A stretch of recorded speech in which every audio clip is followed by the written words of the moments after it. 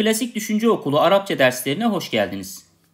Evet arkadaşlar, bugün nekira fail öğesinin Türkçemize nasıl çevrilmesi gerektiği ile ilgili özel bir ders yapacağız. Bundan önceki derslerimizde kısa fiil cümleleri gördük. Fiil ve failden oluşuyordu. Ama hatırlarsanız burada bütün faillerimiz cümlede harfi tarifliydi. Yani marife adını verdiğimiz belirli bir durumdaki faillerden oluşuyordu. O nedenle Türkçe'ye çevirirken herhangi bir zorlanmada bulunmuyorduk. Özel bir tasarrufa gitmiyorduk. Fakat bugün itibariyle göstereceğimiz müfret müzekker ya da müfret müennes fail öğelerinin nekira olması durumunda, burası çok önemli, marife değil de nekira olduğunda, yani kabaca sonunda tenvin e, harekesi bulunduğunda diye de alabilirim. E, nekira şeklindeki bir, nekira halindeki bir faili Türkçe'ye aktarırken yapmamız gereken özel bir vurgulama var. Bunun üzerinde duracağız. Bu e, burada dikkat etmemiz gereken temel nokta nekira bir faili. Bu fail ister müzekker ister müennes olsun hiç fark etmez. Türkçe'ye çevirirken başına bir bir sözcüğünü getirmek olacak. Aşağıda karşılaştırmalı bir cümlemiz var. Görelim sağdaki çerçeveden başlayalım. Ne denmiş? Ca'el a'rabiyyu. Arabiyyu diye okumuyorum dikkat edin. Ca'el a'rabiyyu. Türkçe'ye çevirirken de bir kere öncelikle şuna tabii dikkat edelim. Eliflamlı bir kelime failimiz. O zaman bedevi diye doğrudan bedevi geldi şeklinde bir e, çeviri yapmışız. Karşı tarafında sol çerçevede bu sefer eliflam gitmiş bakın başta eliflam yok. E, dolayısıyla sonunda ne var? Tenvin var. Yani nekire bir e, sözcük. Nekira bir fail söz konusu. Bunu Türkçe'ye nasıl çevireceğim? Burada sağ tarafta bedevi geldi demiştim. Burada dikkat ettiyseniz bir bedevi geldi şeklinde bir e, özel vurguya ihtiyaç var. Buradaki bir sayısal birden ziyade bu değil aslında. Tabii ki bir tane gelmiş onu anlıyorum ama burada tanınmayan, bilinmeyen, belirli olmayan, marife durumunda bu olmayan bir e, faili kastetmiş oluyoruz. Sayısal, niceliksel bir e, belirtmeden ziyade belirsizliğe yapılan bir vurgu söz konusu. Bu e, nekira faillerde. Bütün örneklerimizde bunu e, bu şekilde e, düşünelim. Nekira failin çevirisinde bir bir vurgusunun olduğundan bahsetmiştik arkadaşlar. Şimdi bunu e, karşılaştırmalı doğru ve yanlış iki farklı çeviriyle birlikte bir kez daha görmeye çalışalım. E, aşağıdaki sağ çerçeve içerisinde bulunan cümlede dikkat ediyorsanız nekira bir fail söz konusu nekiralığın tipik alameti olan tenvini görüyorsunuz. Pekala biz bunu nasıl çevirmişiz? Hemen altına bakıyorum. Bir yolcu indi denmiş ve kare içerisinde bunu da vurgulamışız. Dikkat ediyorsunuz. Bir yolcu indi.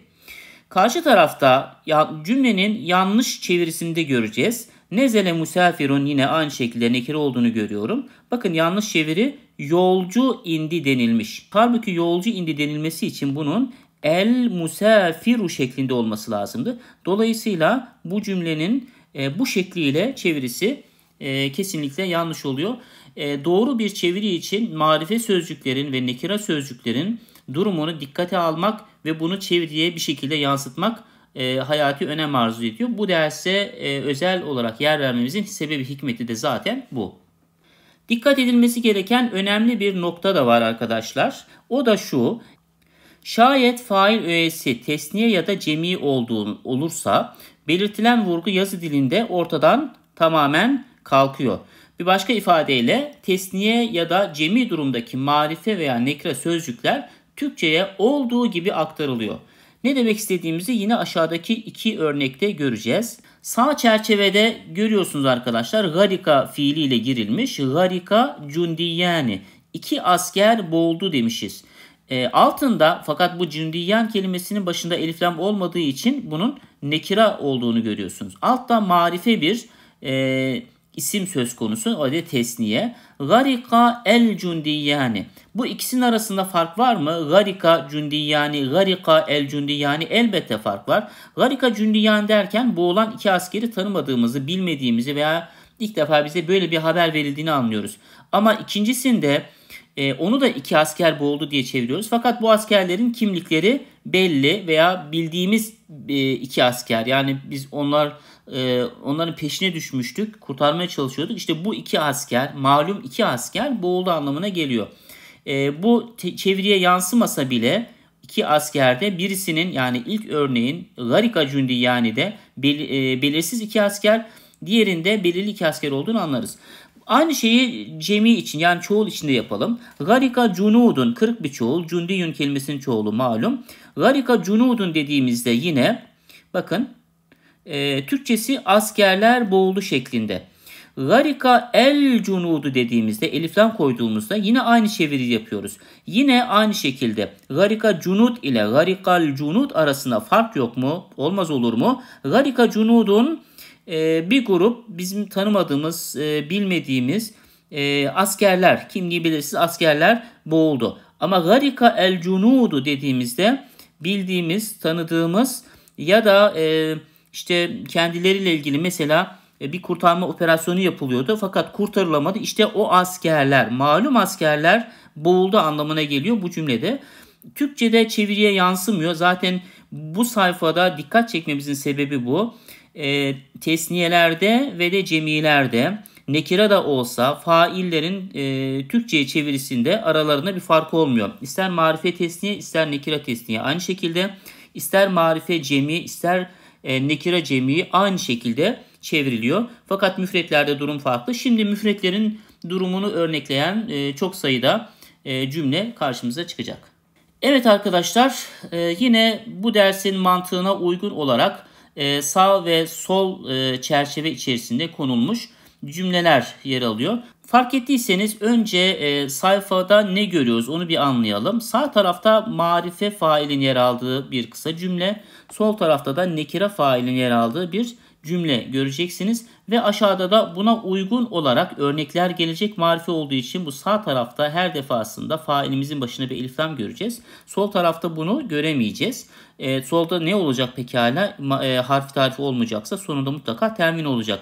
Aynı şekilde bu her iki cümlenin çevirisinde sağ e, çerçevedeki cümlenin çevirisinde mutlaka direkt e, failin e, karşılığı olan kelimeyle başlayacağız. Doktor mesela burada hadarat tabip doktor diye gireceğiz.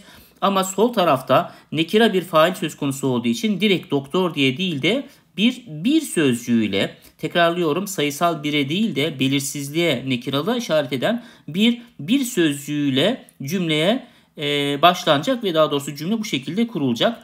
E, şimdi bundan sonraki tüm örneklerde sol tarafta hep her defasında bir bir kelimesini göreceğiz. Buna odaklanmaya çalışalım. Bakın ne denmiş? Sporcu düştü. Harfi tarifli olduğu için doğru. Sporcu yere düştü. Karşı tarafa bakıyorum. Bir sporcu düştü. O biri bana gösteren şey nedir? Daha doğrusu bir e, kelimesinin karşılığı olan şey failimizin burada nekire olması. Riyadiyun. Sakata riyadiyun. Bir sporcu yere düştü. Bakın uçak iniyor. Yine marife fark ediyoruz. Tenzilu tairatu. Uçak iniyor. Tenzilu tairatun. Tun. Bakın bu un sesi bana bu bir kelimesinde Türkçe'de yansıtmalı. Bir uçak iniş yapıyor. Hırsız çıktı. Harfi tarifli olduğu için hırsız çıktı. Ama karşı tarafta lissun, harace lissun, lis, bir hırsız, nekira. Problem ortaya çıktı. Bakın problem ortaya çıktı. Belirli bir problem, sorun bekliyorduk bunu. Problem ortaya çıktı nihayet gibi bir anlamı veya vurgusu var. Ee, ne yapacağız o zaman? Zaharat ama vasıl dolayısıyla kesse yapılmış. Bunları görmüştük geçen derslerimizde. Zaharat til müşkiletu. Evet. Karşı tarafta bir problem ortaya çıktı. Bakın bunu biz beklemiyorduk, ummuyorduk. Hiç hesapta kitapta yoktu. Bizim için belirsizdi. Bir anda bu pat diye ortaya çıktı. O yüzden Zaharat müşkiletun diye nekira olarak yazmaz ve Türkçe'ye çevirirken de bir problem, bir sorun, bir müşkil ortaya çıktı diye de çevireceğiz. Bakın mühendis içeri girdi. El mühendis. Dehalel mühendis. Dehale mühendisun. Bir mühendis bakın. Mühendisun. Bir mühendis içeri girdi. Vatandaş vefat etti. Yaralanmıştı veya bir e, tehlikeli karşı karşı. İşte o vatandaş bakın el belirli bir vatandaş. Metel muvatinu. Karşı tarafta bir vatandaş vefat etti. Muvatinun. Bakın burada belirsizliği anlayabiliyorsunuz. Bir vatandaş Aa, acaba neyden vefat etti, niye, ne oldu? Hemen aklımıza geliyor. Ama öbüründe vatandaş vefat etti. Hali belliydi, gidiciydi. İşte o vatandaş vefat etti demiş oluyoruz. Nekiralığın karşılığı burada bir tekrar işaret edelim. Şirket zarar etti marife o yüzden hasiratiş şirketu şeklinde okuyorum. Ama karşı tarafta bir şirket zarar etti. Bakın bir şirket zarar etti. Herhangi bir şirket, belirsiz bir şirket. E, nicelikten ziyade dediğim gibi belirsizlik e, söz konusu ama aynı zamanda sayısal durumda tabii ki yansıtıyor. Tesniye olmadığı için. Hasirat şirketun bir şirket zarar etti. Müşteri oturdu harfi tarif olduğu için müşteri diye giriyorum. Ama karşı tarafta nekira, nekira bir failim var. O zaman celese zebun bir müşteri oturdu. El muvazzafu diye girilmiş. Haracel muvazzafu. Memur ya da görevli çalışan dışarı çıktı. Muvazzafun çalışanlardan biri demek bakın bu. Bir memur, bir görevli çalışanlardan biri tanımıyoruz ama bunlardan birisi bir memur, bir görevli dışarı çıktı. Polis öldü. Polis bakın marife. O yüzden bir buraya koyabilir miyim? Bir. Hayır. Neden? Çünkü harfi tarifini görüyorum. Karşı tarafta mete şurtiyun. Burada tabii ki şedde olmaması lazım. Direkt mete şurtiyun şeklinde. Nekira bir faal gelmiş. O zaman o nekiralığı Türkçemize yansıtmamız lazım. Bir polis öldü. Hemşire geldi. Bakın hemşiremiz belirli mi? Hemşire geldi. Evet bir hemşire denmemiş. O zaman harfi tarifli. Karşı tarafta nekira teminini görüyoruz. Caet mumerridatun bir hemşire geldi. Öğrenci gelmedi. Gabe fiili yok olmak, ortada bulunmamak aynı zamanda derse mesela gelmemek demek. Gabet tilmidu belli. Öğrenci gelmedi. Tamam. Karşı tarafta gabe tilmidun. Bakın bir öğrenci öğrencilerden biri demek aynı zamanda. Bir öğrenci gelmedi. Öğrencilerden biri gelmedi. İsmi lazım değil. Bir öğrenci gelmedi. Proje başarısız oldu. Malum bir proje vardı ve bu başarısız oldu. Feşilel meşru'u. Karşı tarafta feşile meşru'un failimizin nekire olduğunu net görüyoruz. O zaman buraya neyi koymam lazım? Bir bir proje başarısız oldu. Mesela 10 proje vardı ama bu projelerden bir tanesi herhangi bir tanesi belirsiz ama bir tanesini işaret ediyor. Birisi başarısız oldu. Katılımcı teşekkür etti. Şekara el mühendis. El müşterik affedersiniz. Karşı tarafta şekera müşterikun nekira olduğu için bu bir katılımcı şeklinde yansıyacak. Şekera müşterikun. Öğrenci sınıfta kaldı. Rasabe çökmek demek aynı zamanda çakmak demek e, aynı zamanda da sınıfta kalmak demek. Rasebet talibu bakın marife çünkü. Karşı tarafta rasebet talibun nekira bir fail o zaman bir öğrenci sınıfta kaldı. Yerbahul bâi'u zamanımız değişti. Yerbahu muzari. El bâi'u el bâi' Türkçe'de bakın bayi diye bildiğimiz kelime satıcı bayi. El bâi' Arapçada böyle telaffuz edeceğiz. Yerbahul bâi'u satıcı kar ediyor. Ba- marife belirli bir satıcı. Karşı tarafta yerbahu bai'un nekire olduğu için bir satıcı diye Türkçe'ye çevirmeliyim. Sıradaki cümlemiz kedi doydu. Belirli bir kediden bahsediyoruz. El qittu. Şebi'al qittu. Karşı tarafta şebi'a qittun. Bakın. O zaman bir kedi doydu. Kadın suçlu. Kadın suçlu pişman oldu. Nedimetil mucrimetu marife. Karşı tarafta nedimet elif lam gidince bakın buradaki t'de yani vasıldan dolayı kesre yapmıştık. O aslında rücu etti. Nedimet sakin oldu. Mucrimetun önemli olan burası. Nekira fail. Türkçesi bir kadın. Burayı kadın suçlu diyemem. Bir kadın suçlu pişman oldu diye çevirmeliyim. Yüzücü boğuldu. Marife olduğu için direkt yüzücü diye başladık. Garika sebbah. Evet. Karşı tarafta garika sebbahun. Bakın bir yüzücü boğuldu. Şimdi bir alıştırmamız var. Bizden ne isteniyor bakalım. Fail öğelerini marife ve nekra oluşlarını dikkate alarak cümleye uygun gelen manalarını boşluklara yazınız. Demek ki Türkçe karşılıklar vereceğiz. Şimdi bir cümle, kısa kısa cümleler. Fiilimiz var, failimiz var. Bakalım. Sa'ide ceddun. Zaten fiilleri bize doğrudan vermiş hazır olarak. Biz ne diyeceğiz? Faile yani e, nekira ve marifeline göre karşılık vereceğiz. Ceddu ne diyelim? Bir dede mutlu oldu. Çünkü nekira olduğunu görüyorum kelimenin.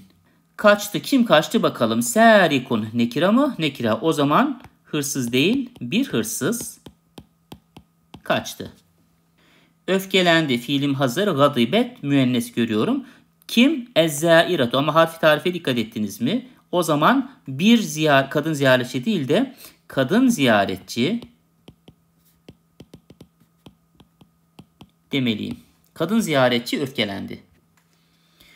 Kim soru soruyor? Yes elu talibun. Nekira bir fail. O zaman bir öğrenci. Erkek dememe gerek yok. Bir öğrenci soru soruyor. Battı. Ne batmış? Garikat müennes failimiz var. Sefinetun. Daha önemli olanı burada müennesi değil nekiralı. Bu nekiralığı Türkçe'ye bir şekilde yansıtman lazım. Bir şekilde yansıtman lazım. İşte o bir şekildenin karşılığı bu. Bir vurgulayalım bunu. Bir gemi battı. Karşıya geçiyor. Abara ya'buru fiili önemli. Ta'buru kim ne? Bakalım. El bâhiratu. El bâhiratu bevâhir.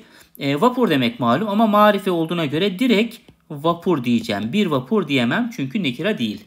Geldi. Kim geldi? Kadime dayfun. Nekira olduğunu gördüm. Elif lam yok. O zaman bir ile başlamalıyım. Bir konuk ya da misafir geldi. Kim usanmış? Bakalım. Melle kim? Mustemi'un. Bir dinleyici yani dinleyicilerden biri herhangi biri demek bunu. Daha önce de vurguladım bu şekliyle. Bir ile başlayacağız. Bir dinleyici dinleyenlerden biri demek usandı. Engel oluyor. Yemna'u kim? Marife addabitu. Ne diyelim burada? Kolluk görevlisi demek bu aslında. Polis anlamına da gelir, zabıta anlamına da gelir, subay anlamına da gelir. Buraya subay diyelim. Niye bir diye girmedim? Çünkü kör değilim, görüyorum. Eliflen var burada.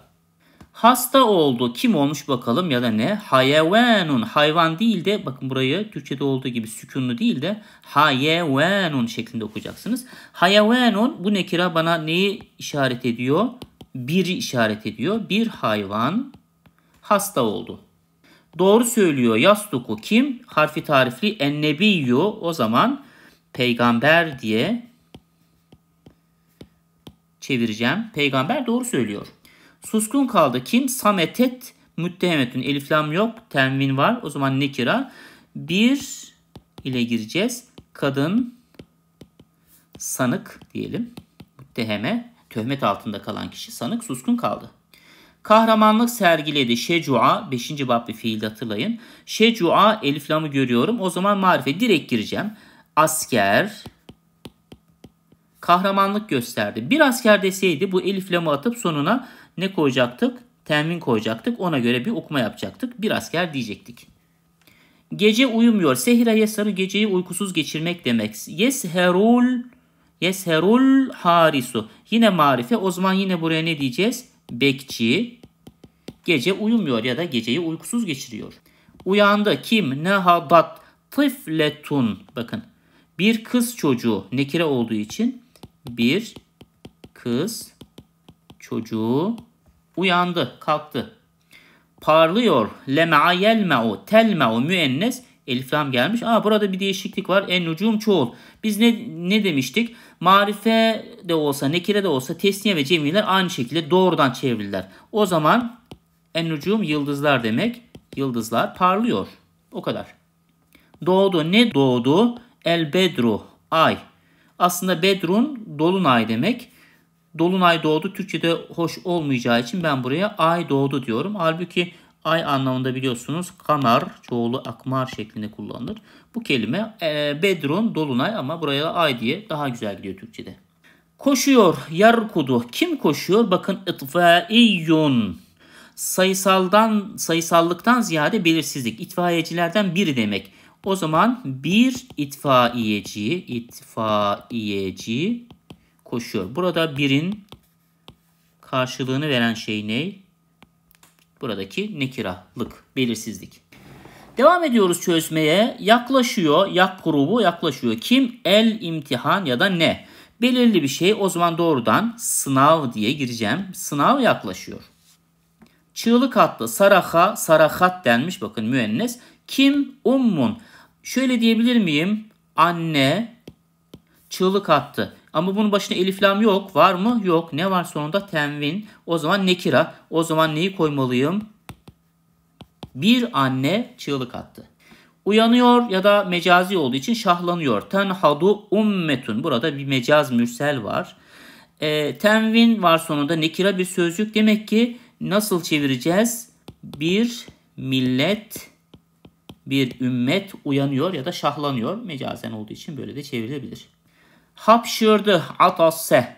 Kim? El veledu. Marife o zaman doğrudan hemen çocuk hapşırdı. Bir çocuk deseydik atase veledun şeklinde olacaktı. Öksürüyor. Se'ale yes'ulu. Bakın tes'ulu müennes demek ki. Musafiratun. Bir nekire olduğu için bakın bir müsafiratun. Bir kadın yolcu diyelim buraya. Rakibetunla aynı anlamda. Öksürüyor. Sevindi. Ferihat kim? Bakın müennes bir failim var. Ve de nekira bir kız çocuğu çocuğu sevindi, mutlu oldu. Bilir. Ya'riful harf tarifi gösterdim. O zaman doğrudan hoca bilir. Cümlem karşılığını buldu. İkinci alıştırmaya bakalım. Ne deniyor? Cümlede yer alan fail öğelerinin Arapçalarını Türkçelerine hareketle tespit edip boşluklar yazın. Bu sefer failleri biz yazacağız. Muhtemelen Arapçalarını. Bir kadın, bakın bir kadın, burası çok önemli. Bir kadın seyirci çıktı. Haracet, seyirci ne demek? Muşahidetun ya da muteferricetun. Bir dediğine göre nekire olacak. Muteferricetun. Harekeleri de koyalım. Biraz kelimeleri de hatırlayalım. Muteferricetun. Bir kadın seyirci dışarı çıktı. Sınav zor oldu. Bakın bir sınav denmiyor. O zaman eliflamlı başlar bu kelime. Sa'ubel imtihanu diye de biter. Bir yolcu, bakın bir yolcu bu önemli. Selime yolcu neydi? Selime fiilim de müzekker olunca direkt rakibun diye nekira olarak yazacağım failimi. Bir kadın bakın rükû ediyor. Bir kadın neydi? İmraetun. Bakın. Terke'um ra'etun. Evet. Marife olsaydı bu kelimenin marifesi el mer'etu şeklinde olurdu hatırlarsanız. Ama nekire olunca terke'um ra'etun şeklinde de okuması olacak. Bir kaza meydana geldi. Hadese hadithun. Çok sık kullanılan bir cümledir aynı zamanda. Hadese hadis. Şehir uyandı. Bakın bir şehir denmemiş. O zaman elle başlayalım. El medinetu şeklinde failimizi de marif olarak koyalım. Bir köpek havlıyor. Yembahu bir. Bu birin karşılığı mutlaka olacak. Yembahu kelbun. Kapıcı uyuyor. Yenemu eliflamlı olacak. Kapıcı neydi? Bevvab kelimesini hatırlamalıyız. El bevvabu. Bir demediği için eliflamı koydum. Bir kız öğrenci bir ipucu pişmanlık duydu. Ne dimet var burada? Talibetun şeklinde de tamamlayacağım cümlemi. Bir ayı oynuyor. Yarkusu, rakasa yarkusu, dans etmek, raks etmek, oynamak. Yarkusu bir ayı dediğine göre nekira, dubbun bir ayı oynuyor. Komutan bir komutan dememiş bakın endişelendi. Kalika el kaidu. El kaid. Evet. Komutan kaygılandı. Kadın hizmetçi yoruluyor. Tetta'bu. Hizmetçi kadın hadimetun. Ama bir denmemiş. O zaman el hadimetu şeklinde kelimeyi marif olarak yazacağım. Bir genç, bakın delikanlı oruç tuttu. Same bir ipucu, nekire bir failden bahsediyoruz. Same şebbun. Bir yılan ısırdı. Yılan anlamında iki kelime öğrendiniz aslında şu ana kadar. Su'ben kelimesi bir hatırlayalım. Su'benun. Diğeri de hayyetun. Ben bunlardan hangisini kullanacağım? Her iki yılan da gidiyor mu bu cümleye? Hayır. Fiilimize bakın. Ledegat. müennes verilmiş. O zaman tövben müzekker bir kelime. Hayye, hayyeden alacağım. Ledagat bir de ne denmiş? Bir. Bir kelimesi o zaman nekra bir fail gerektiriyor. Hayyetun şeklinde nekralığını da şöyle net olarak vurgulayalım. Genç kızlar ümitsizliğe kapıldı. Çoğul olunca hiç sıkıntı yok. Marife de olsa, nekre de olsa. Ye set ama burada bakın set seti demediğine göre buraya nekre kullanalım. Ye iset feteyatun. Bu arada bu kelimeleri ne kadar hatırlayıp hatırlamadığınızı kendiniz kontrol edin. Zayıfsa bu kelimeler hafızanızda bunlar üzerine biraz duralım lütfen. Bir köy helak oldu. Karyetun. Bir köy. Köy helak oldu demek isteseydik heleketil karyetu diyecektik. Bir kadın büyük elçi. Büyük elçi anlamında sefir kelimesi kullanılıyor. Geliyor. Takdemu yani e, te'ti. Bir kadın büyükelçi o zaman nekira olacak. Birden dolayı şöyle de sefiratun şeklinde de yazacağım.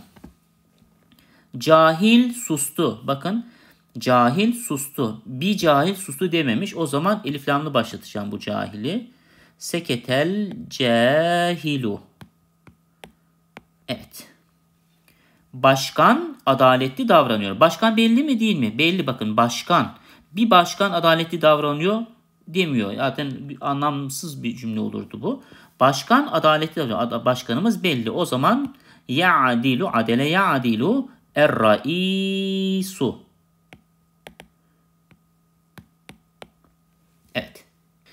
Bir kadın izleyici müşahidetundan yapalım. Tezahürat yaptı. Hetefe yehtifu hetefet. O zaman ne diyeceğiz? Müteferrici az önce kullanmıştık. Burada da bari müşahidetunu kullanalım. Konumuz itibariyle önemli olan burada nekiralığın karşılığının çeviride yer almış olması. Düşman gülüyor. Yadhaku düşman. Bir düşman denmemiş. El aduvu o zaman. Belirli bir düşman. El aduvu. Yani burada bir düşman denilseydi karşı tarafa biz ne diyecektik? Aduvun şeklinde onu nekire olarak yazacaktık. Kadın acele ediyor. Ta'celu. Bakın marife. O zaman e, bir kadın derken imraetun demiştik. Hatırlayalım. Burada imraetunun başına elif lam getirince nasıl bir e, kelimeye dönüyordu? El mer'etuya dönüyordu. Bu da imlası özellik arz eden bir kelime. Ta'celul mer'etu. Testa'cilul mer'etu. Kadın acele ediyor. Kadın doktor, kadın doktor muayene etti. Fahassat. Bakın başında bir yok. O zaman eliflamlı başlayacak. Burada vasıl zarureti hasıl olacak. Şöyle geçiş yapacağız. Fahassatil ve fahassatit tabibetu. Bakın. Tabibetu failimiz merfu dammeyle ama tenvinsiz. Kadın doktor muayene etti. Bir araştırmacı gelmedi. Gabe gelmedi demek. Anlamında olumsuzluk olan fiillerden birisi bu. Birkaç fiil var Arapçada böyle. Bir araştırmacı gelmedi. Gabe kim? Araştırmacı için kullandığımız kelime bahis. Başında bir var. O zaman doğrudan bahithun şeklinde fail olduğu için merfuluğunda damme ama temin olarak belirtirim. Bir kadın yolcu indi. Nezellet işte bir olduğu için yine imraetun diyeceğiz. Bu arada bakın yazayım şunu imraetun. Sakın bunu imraetun kelimesini şöyle yazmayın arkadaşlar. Bu da imraetun diye okunur. Bakın imraetun ama kelimenin bu şekli doğru değildir. Neden? Çünkü e, baştaki elifin altında asla hemze olmaz. İmrae kadın kelimesinde. Bir kadın davetli geldi. Hadarat bir kadın bir denmiş bakın bir kadın davetli. Davetli anlamında kullanılan kelime med'uvun. Kadın olunca med'uvetun. Harekelerimizi de koyalım. Mutlaka nekire olacak. Çünkü bu nekirenin burada karşılığı var. Bir kadın davetli. Ve gelelim konunun özetine sevgili arkadaşlar. E, bu dersimizde neyi gördük? Fiil cümlesinde nekira fail. Bundan bahsettik. E, temel bir kural olarak ne diyorduk? Nekire durumundaki müfret, müzekker ve müennes failler Türkçe'ye bir diye çevrilecek. Şöyle yazalım. Konu özeti madde 1 şöyle olsun. E, nekira, nekiralık burada çok belirleyici. Nekira ve de müfret. Bu da çok önemli. Tesniyelerde çünkü olmuyordu. Nekira e, müfret durumundaki hem müzekker bakın hem müzekker hem de müennes şöyle yazalım. Müennes failler Türkçeye bir sözcüğü ile ile çevrilir.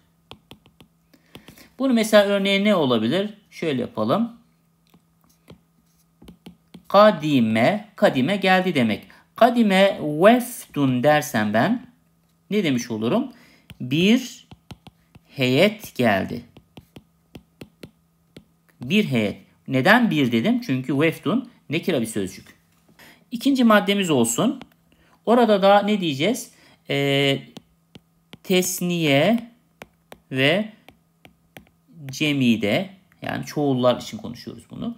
Ee, nekiralık için nekiralık için ayrı bir vurgu ayrı bir vurgu yoktur.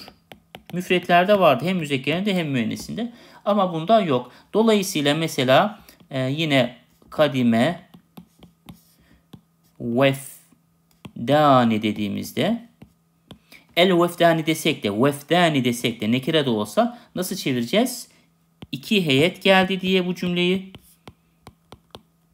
çoğulu biçimi gelseydi ileride göreceğimiz bir kurala da atıf yaparak kadimet müfret müennes gelecek. Bunu çok düşünmeyin. Kadimet vufudun deseydik de vufudun yani heyetler bakın belirsiz kelime ama bunun Türkçe'ye karşılığı olmayacak. Heyetler geldi diye heyetler belirsiz de olsa e, bunu e, Türkçe'ye yansıtamıyorum. Sadece heyetler geldi şeklinde bir çeviri yapacağım bu nekira çoğul fail için. Evet arkadaşlar bugün itibariyle fiil cümlesinde nekira durumundaki fail öğesini müzekker ve müennes için gördük ve bunların çeviride özellik arz eden durumlarını anlatmaya çalıştık. Umarım istifadeli olmuştur. Konuyu tekrar üzerinden geçersiniz. Bu e, konu özellikle çeviriyle iştigal eden arkadaşların dikkate mutlaka almaları gereken önemli bir nokta. Hem estetik hem de doğru çeviri açısından çok hayati önem arz ediyor. Bir sonraki derste buluşalım diyorum. Allah'a emanet olun.